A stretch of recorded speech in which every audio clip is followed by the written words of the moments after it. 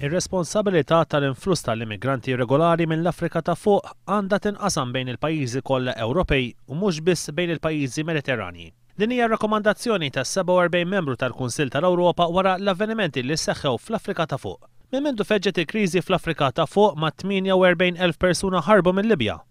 Aktar minn 34 elf immigrant waslu fl-Italja u aktar minn elf f'pajjiżna. Huwa stmat li hemm mas-750 elf immigrant ieħor li qegħdin jistennew sabiex jaħarbu mill-Afrika ta' Fuq lejn l-Ewropa. Il-Kunsill Ewropew jisħaq li hemm bżonn ta' iktar kooperazzjoni bejn il-pajjiżi Ewropej. Tul is-sena li għaddiet l-Ewropa aċċettat ftit inqas minn 6,000 immigrant filwaqt li l-Istati Uniti ħadet mal-55 elf persuna, mal-għaxar darbiet iktar minn kemm ħadu l-pajjiżi Ewropej.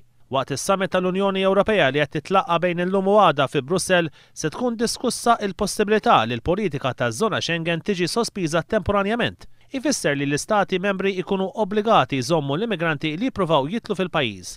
Il-Gvern Taljan diġà għamilha ċara li mhux se jaqbel ma' dan minħabba l-influss kbir ta' immigranti f'Lampedusa.